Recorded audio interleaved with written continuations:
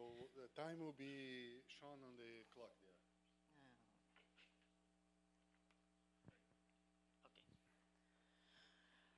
Okay, Okay, good night. Uh, my name is Uri Denver Chacon Hernandez. I'm from CBPF here in Rio de Janeiro, Brazil. Um, okay, uh, sometimes uh, some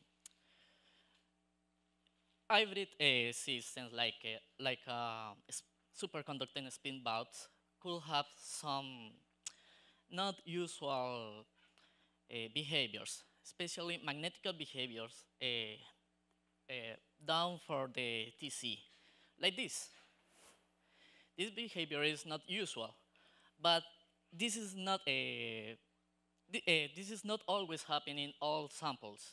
In this case, we have two samples here and here that have the same uh, structure, and this structure A, and these samples are make it uh, some uh, measurements, characterization measurements, where we compare which, uh, which measurement or which sample could have this, this thing or this, this kind of behavior.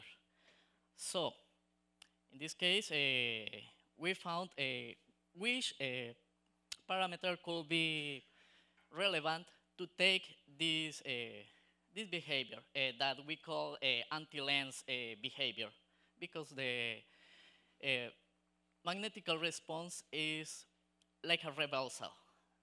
That, but, but this is not like a, I suppose we have in these kind of things. That's it. Thank you.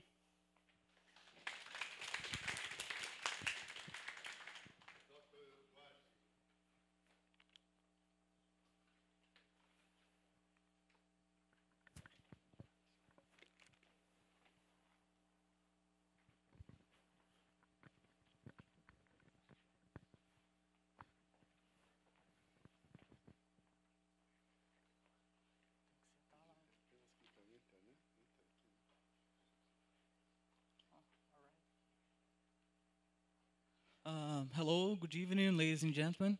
Uh, today we're talking about the dissipative mechanism and thermal diffusion and annihilation of kinematic vortex and antivortex pair. To study uh, this phenomenon, we used the GTDGL formalism. It's a generalization by the TDGL ordinary theory proposed by Schmidt. The GTDGL equations was proposed by Watts-Tobin and Kramer in the 1978 and was derived for microscopic theory in the dirt limit and temperature close of critical one. Uh, through studies the thermal effects and dissipative mechanisms involved in this process, we, we coupled with, with the DGL equation the classical diffusion equation, where the total energy dissipated was studied and solved the Helmholtz free energy uh, theorem, where we have three kinds of dissipative mechanism. The first one is the normal current. The second one is relation of uh, relaxation of psi and the excitation, uh, ohmic excitation of the core of vortex. And the last one is due to uh, relaxation of density of super electrons. Um, and as a result of heat diffusion, we have an increase of the number of vortex and antivortex pairs and decrease of the vortex velocity, right? Uh, and the- main kind of dissipative mechanism is due to normal current. Uh, but the terms involve the psi are not dispersible, are very important to correct the equation. All right, more picture and uh, some graphics is uh, on the poster. All right, uh, poster uh, 16. is my poster. Thank you.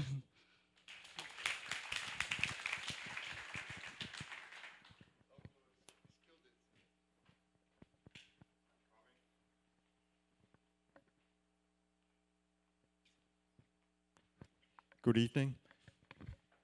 So, for the last two of these conferences, I've been presenting in my talk on, on these metastable vortex lattice phases and how they transition back to the ground state. And I figured this time I would talk about something entirely different and relegate this to a poster instead for those who are interested. So, just to remind you, in magnesium diboride, uh, the structural vortex lattice phase diagram, so how the vortex lattice is arranged relative to the crystalline lattice, shows three different phases.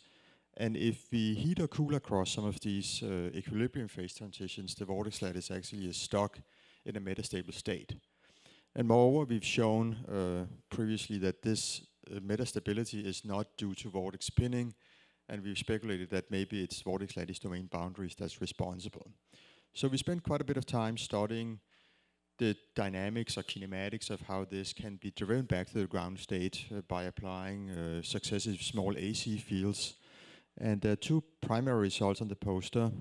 One is outlined on the left, where we have either supercooled or superheated the vortex lattice across the same second order phase transition, and then looked at how it relaxes back. And as you can see in the top left diagram, that looks like a discontinuous or first order like transition where the ground state domains develop as you go left to right, and the metastable domains basically decrease in intensity. That's the middle one. In contrast, if you look at the bottom left, you can see that uh, for the superheated case, the transition back to the ground state is more continuous or second order like. So there's this clear dichotomy between uh, the superheated and the supercooled vortex lattice configuration. On the right, we've then studied the supercooled in some more detail, where we looked at how we drive this back, uh, basically defining an order parameter as how much is left in the metastable state, and looked at how that uh, decreases as you apply successively more and more AC cycles to it, and found an interesting scaling behavior uh, that allows us to collapse most of the data onto a single curve. And for more details, come and look at the poster. Thank you.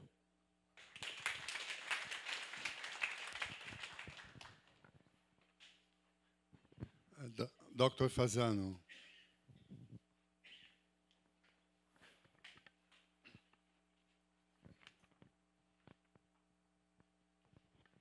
So good afternoon, everybody. So actually, this work is uh, from two students from our lab at Bariloche, but they were not able to attend to the conference, so I'm presenting the work in a poster.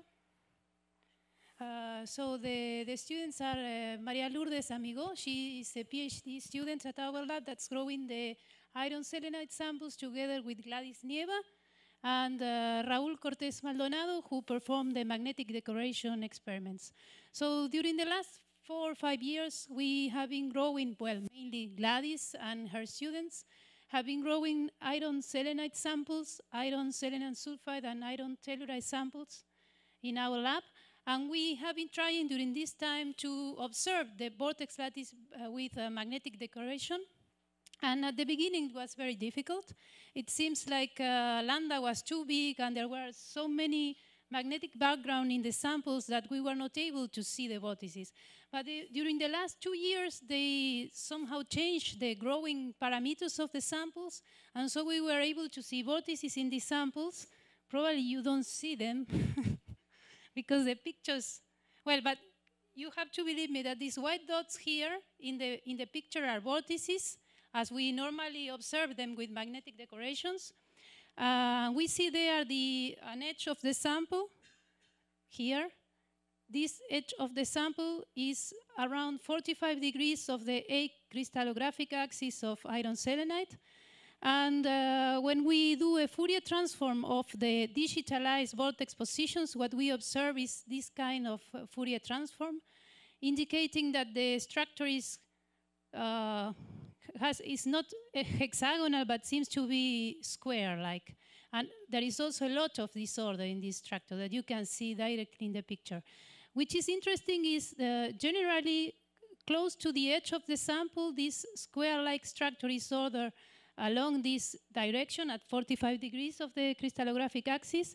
But when you go into the, the inner part of the sample, uh, the lattice becomes more disordered.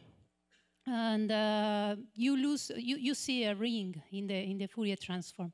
So it seems like the pinning in these samples is so weak that the edge of the sample is somehow uh, inducing some ordering of the lattice. Uh, this is a picture of vortices in iron uh, selenium uh, sulfide. And what probably you're not able to see that here, but in the poster is more clear, is that we have some lines where we have more vortices, and they seem to be like twin boundaries. And in that case, we also observe some regions with a square symmetry. So this is quite interesting because the magnetic field that we applied to observe vortices was just five Oersteds. Normally one sees these kind of square structures when you have YBCO or, or cerium cobalt uh, indium 5 at very large fields when the vortex structure locks somehow with the uh, uh, superconducting parameter that has some anisotropy. But here we observe this square-like structure at very low fields. And at larger fields, we were not able to see the lattice, and uh, the temperature was, was also an issue. This is at 2.3 Kelvin. At larger temperatures, we didn't observe also the vortices. So for more details, come to my poster.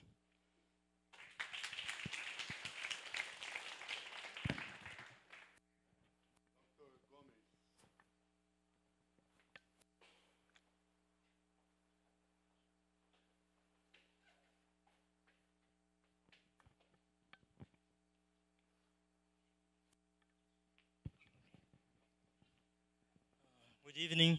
Um, my name is Rodolfo Ribeiro Gomes. I am a PhD student at Universidade Federal do Rio de Janeiro. And today I will present a poster where the, the title of the work is Paramagnetic Excited Vortex States in Superconductors.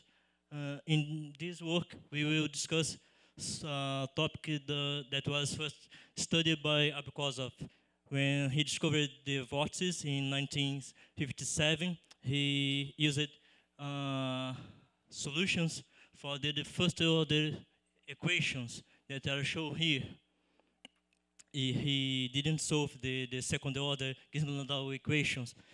Um, using the, these equations, he was able to, to insert the, the solution into the Gibbs free energy and show that the, this energy uh, has the give the, the triangular and triangular lattice and for the square lattice.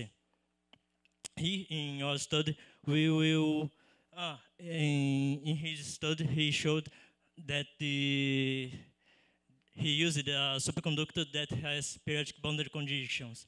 So the, the superconductor is infinite. In our study, we consider a finite superconductor. And in this case, we can split the, the kinetic energy in three terms. And we can see that in this way, we have a, a term that gives the, uh, a contribution from the boundaries. In our case, we consider this contribution, and we consider as an example uh, superconductor that is a long cylinder, but uh, with uh, a boundary. So in, in practice, we consider a superconductor in two dimensions. In, and we consider the case when we have an applied field and we switch off this field. In this case, we can show in this work that we can see solutions that have a vortex inside the superconductor and the Gibbs free energy of this state is smaller than the energy of the normal state. this state we call excited vortex state, and we show also in this work that this state has a positive magnetization, so it's paramagnetic. And we have another features in this work that is we can calculate the magnetic field inside the vortex core, and that's it. Uh, my my poster we have another features that we can I can show you in my poster. My poster is in panel number four. Thank you.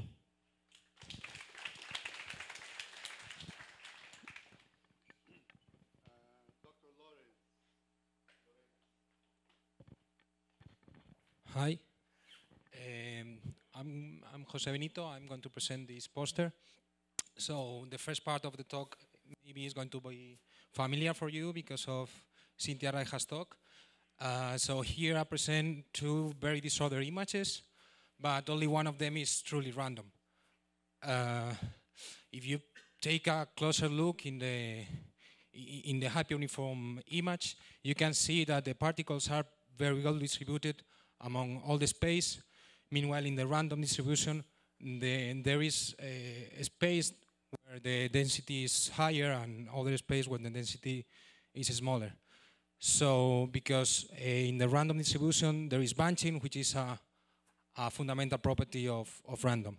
So, one way to differentiate them is calculating the factor structure of, of the distribution. If we took the, if we calculate the structure factor of the random, we have a constant line, and if we calculate the the structure factor of the hyperuniform, we will have a constant line except at very long length scales that we have a drop in the in a line.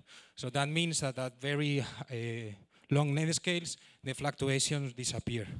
So what I did is calculated this factor structure for several images of vortices of different materials to find if, as uh, says, that the disorder in the vortex lattice is hyperuniform. Uh, so I calculate this factor structure, so it, it drops for all the all the image with an exponential decay of an exponent between 1 and 0.5. So this is important because um, in this paper they said that if you put like a, a hyperuniform pinning landscapes, it can enhance critical current. So I, some of the, the materials have a random pinning potential and some of them have a hyperuniform pinning potential. And if you have you want more information about this poster, I'm in in number five. So thank you for your attention.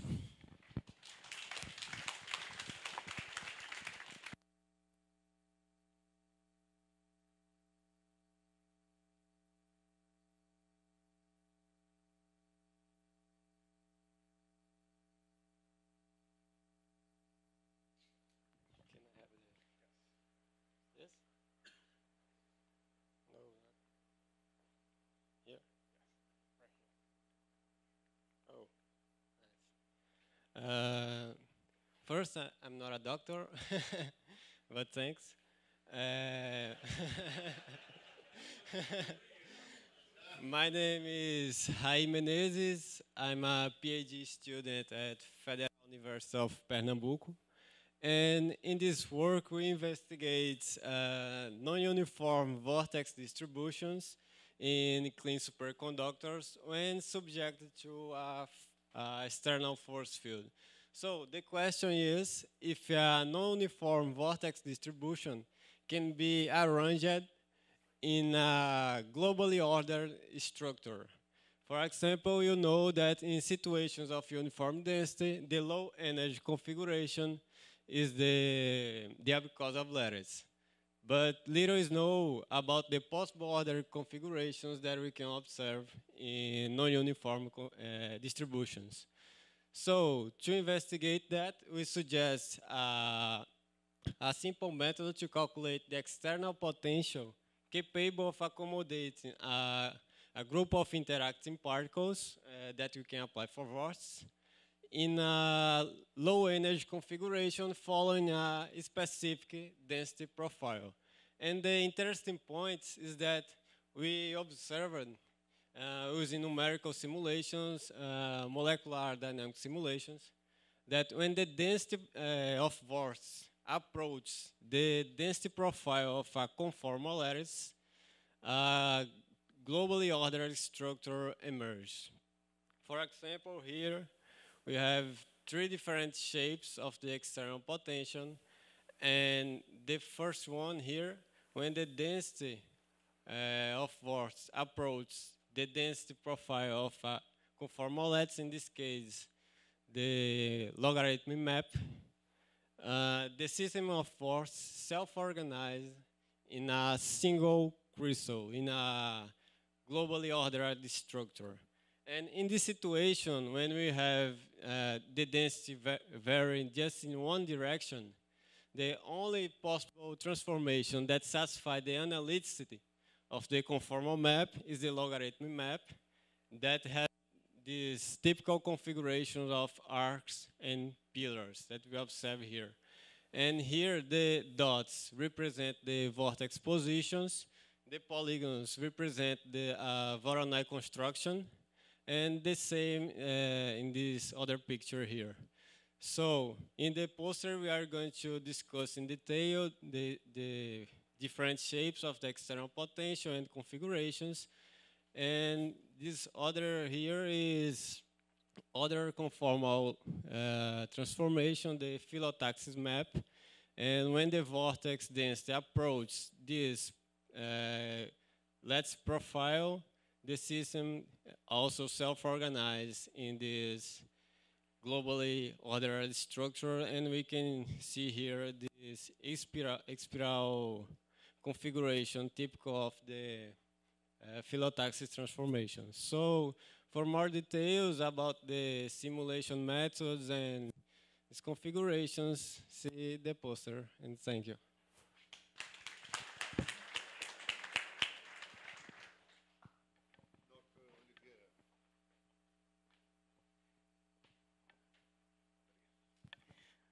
Hi, everybody.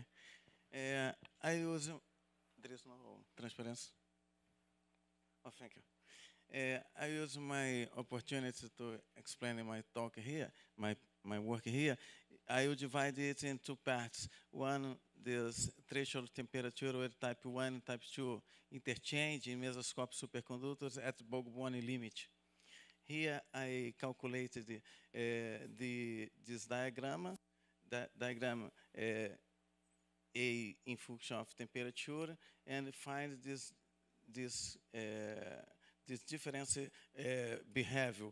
In this side, we can see the marginal state and normal state, and in this in this part of the diagram we see the three different phases. I in, my idea is in this part, this behavior is looks like a type 2 superconductor, while in this one is a type 1 superconductor. Uh, it is in agreement with the calculation of magnetization, since in this, uh, the magnetization, in this case here, it is uh, in this side. And you can see that it is a second order phase transitions with uh, in, of this superconducting state uh, appear uh, first order phase transition because the entrance of the volts. While in the this side here, we have only one first order phase transition in magnetization. It is the first part of the poster there. And the second part is magnetic properties of type 2 superconductors with pinning sites.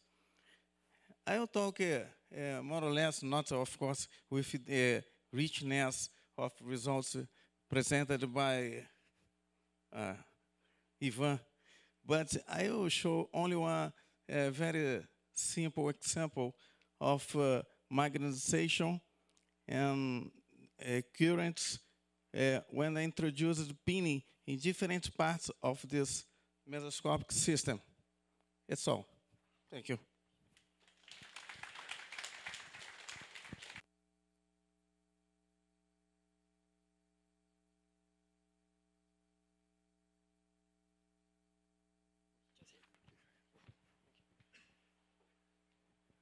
Okay, so in this poster, I will present uh, the result of two different experiments, which are made uh, using neutron scattering in a pure sample of niobium. So this has made with uh, Annie Brûlet from the LLB and Charles Simon, which Charles is now at the ILL in Grenoble in France. So for the first experiment, the question was, uh, uh, is it possible to measure with a good enough precision the, the finite size of a, a vortex crystallite in a sample of, go of good purity. Uh, the problem with neutron scattering is that we normally we have a limited resolution for the, the main Bragg peaks, uh, the Bragg peak which is S, S of Q. And uh, we show here that using a, a time, time, of flight method, it's possible to increase the resolution and the definition of the Bragg peaks and to measure the, the size of the vortex crystallite as, as function of the field to compare after with, uh, with different model of critical currents. And for the second experiment, uh, we have used uh, another spectrometer, which is uh, very well suited to, to measure the flux linearities at very low field. So typically uh, for field less than 100 of, of Gauss, which is uh, not so easy with classical spectrometer. So the idea was to, to follow uh, the, the change of the vortex lattice structure at very low field when uh, in niobium, which is, uh, as you know, uh, a, a type 2 superconductor, but very close to be type 1, and you have competition between attractive and, and uh, repulsive interaction. And because of this competition, you have different phases which are appearing that we can study and follow as function of temperature and field with neutron scattering. So this is uh, what I, I show, and I will be happy to discuss with you of the result. Thank you.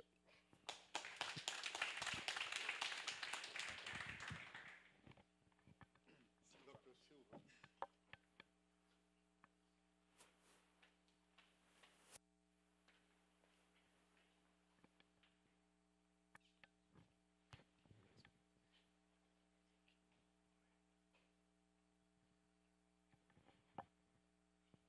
Good evening.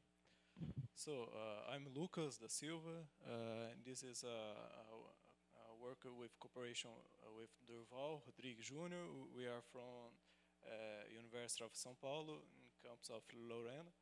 Uh, so the name of my work is Effective Artificial Pin Center in MGB2 superconducting books. So the main uh, the main goal of our work is to, to try to increase the critical current density in, in MGB2 books. So uh, we try to increase or to, to improve all of these uh, characteristics of material. For example, the grain boundaries, connectivity, uh, including crystalline defects, uh, porosity, controlling the porosity, uh, controlling the MG, MG, uh, MGO gro- ground, and for doping. Here, uh, specifically in, the, in, this, uh, in this work, we try to introduce uh, other, uh, other diborides. The diborides that we include is the vanadium diborides. It's because we try to include punctual defect. The diborides has the same crystalline structure of the MGB2, so we can try to include effective artificial pin center in this material. Uh, and uh, in the same time that we include this vanadium diboride, we include to uh, some some carbon dope. In this in this example or in this work, we include silicon carbide. That it's one of the best doping for this material. And here uh, I have some results, my, but here uh, I show you some uh, the principal result. Uh, here is a, a high resolution uh, TM image where we can see uh, vanadium gram. And here I call your attention for the size of this vanadium diboride gram, that it's almost the same, the same size of the the coherent, co- coherent, coherence length of the magnesium diboride. And here I show you the a, graph of critical current density versus applied magnetic field, where these blue lines are, are the, the samples with addition of uh, vanadium diboride. And here I show you that uh, we can improve the critical current density under high applied magnetic field. So uh, for more, more details, I, I, I invited you to, to, to find me in the poster section. Thanks.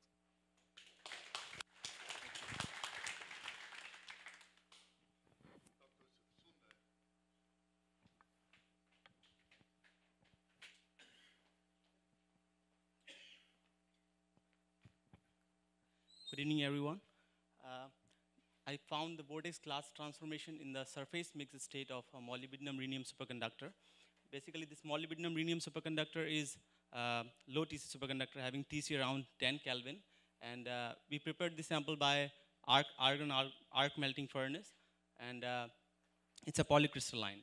So what we did, we did the temperature dependence of resistivity and heat capacity in zero magnetic field and in presence of magnetic field.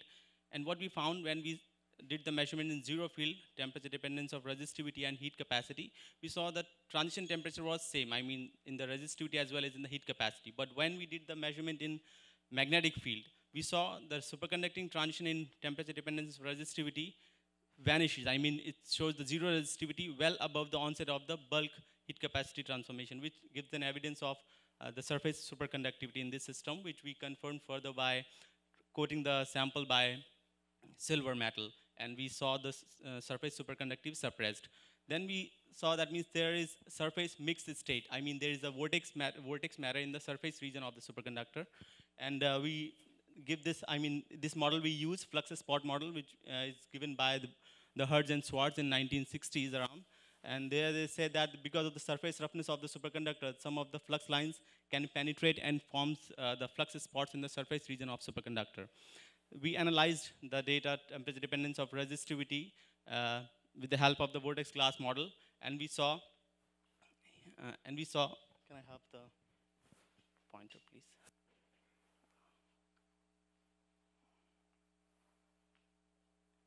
Ah, and we saw this, uh, this, the green line is shows the uh, superconducting transition temperature by heat capacity measurement, which is the bulk uh, measurement. And this black line shows the superconducting transition temperature by resistivity measurement. So this region is the surface superconducting region where we saw the, all this uh, vortex phase trans uh, vortex liquid to glass transformation all in this region where this uh, this orange line shows the TCH where the resistivity goes to zero and the glass temperature is coinciding. So which says that it, the glass for uh, vortex glass is forming in the surface region of the superconductor. And uh, we estimated the critical exponent regarding to this vortex glass, uh, critical region of the vortex glass, and we saw this critical exponent is saturating near to the 2.4. Whereas in the literature, we found that for the three-dimensional vortex glass, this critical exponent is always more than 2.7, which, which again gives indication that this is happening in the surface region of superconductor. Thank you very much. If you are interested, uh, I have a poster number 13 there for the further information.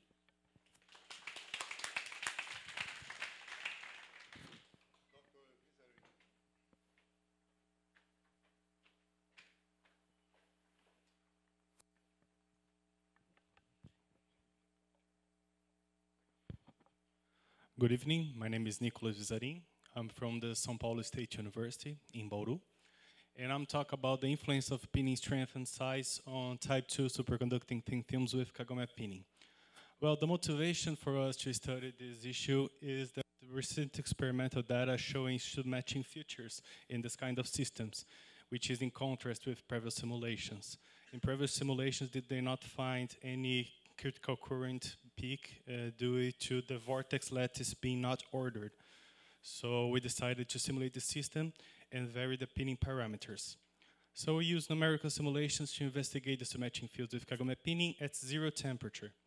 And through simulated annealing technique, we search for the vortex ground states, and then we integrate the Langevin equations, where we have the vortex-vortex interaction, the vortex pinning interaction, and the vortex transport current interaction. Uh, some of the results, we have the vortex ground states that we find through simulated annealing, and we found some ordered vortex ground states for BBF one-third and BBF two-thirds. These ordered states, as a consequence, uh, show us critical force peaks for these values of field, and we corroborate the experimental results. But uh, some of the, the critical peaks, for example, BBF two-thirds, the peak changes as the pinning strength changes. So we decided also to analyze the pinning size effect, and when we choose the pinning size close to that uh, of the previous simulations, we found that the vortex ground state is not ordered. So if you want more information, more results, we can talk at the poster. My poster is poster 18. Thank you very much for your attention.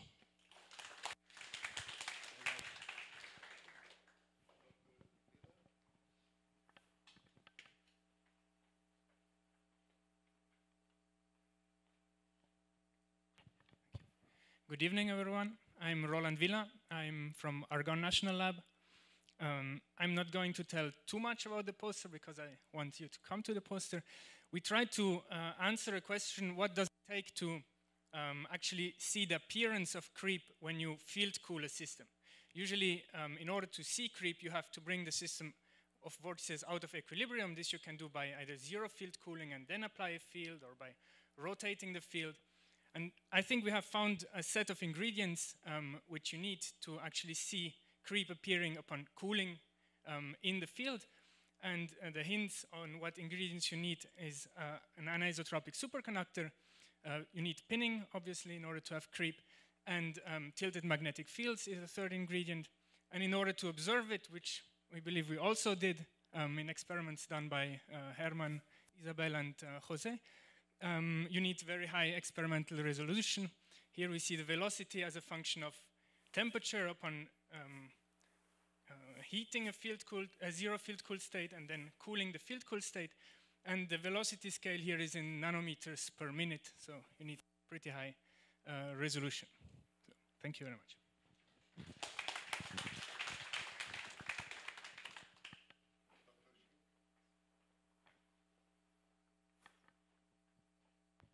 Hi, good evening. My name is Yutao Xing from uh, UFI, Brazil.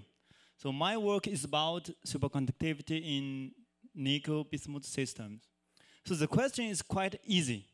As we know, pure nickel and pure bismuth, the bulk is not a superconductor. But if we deposit one above another, the system, the bilayer system is a superconductor.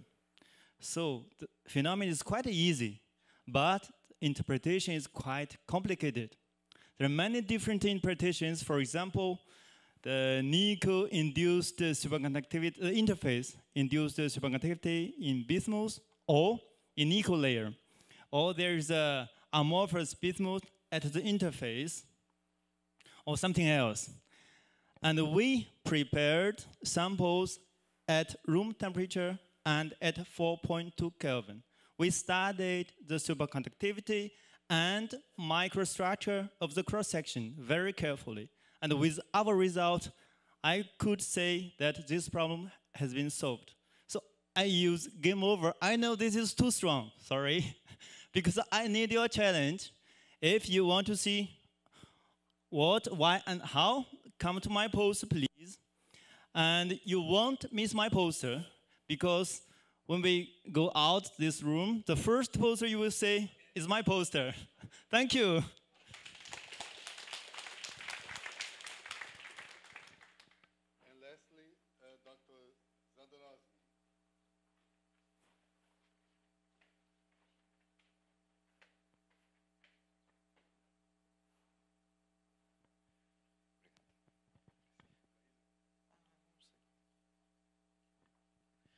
Good evening, everybody.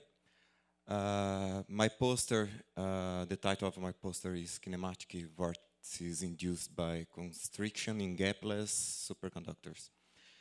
Uh, this work uh, begins wi with uh, the observation that in, in superconductors, in, in gap-like superconductors, without any defect, uh, the current, the superconducting current density uh, increases in in the in the middle of the the system. So I try to uh, induce these increases, this uh, increase of the current uh, by introducing a constriction uh, made by a blind with blind uh, slits here. And with this uh, geometry, uh, we can be able to reproduce kinematic vortices in, in gapless like superconductor. What I mean gapless or gap-like superconductor, uh, I'm using the generalized time-dependent Ginzburg-Landau and set this uh, relaxation, basically is the relaxation of the order parameter as zero, and then I, I have the Schmidt uh, TDGL. Uh, a- and this is a gap gapless like that I I'm calling. And otherwise, I I put another value here uh, to compare with uh, a gap-like superconductor. Here is the voltage uh, as a function of the applied current density, and we see uh, the difference between the, these two systems. Uh, well, I've been my poster. Uh, I would like to, to thank FAPEP, FAPESP for financial support. Okay, thank you very much.